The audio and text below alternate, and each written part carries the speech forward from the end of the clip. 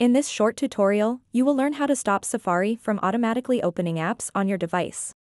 Many users find it annoying when they tap on a link in Safari and it opens the corresponding app without their consent. I will show you a quick and easy way to prevent this from happening. To get started, let's open up the Safari web browser.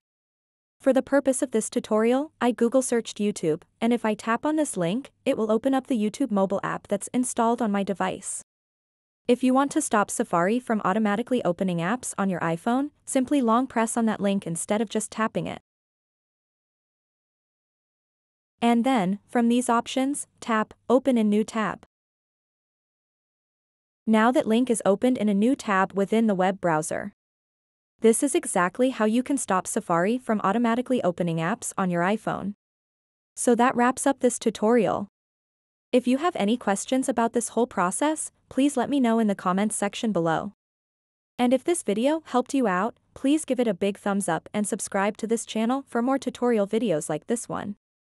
Thank you so much for watching and have a good day.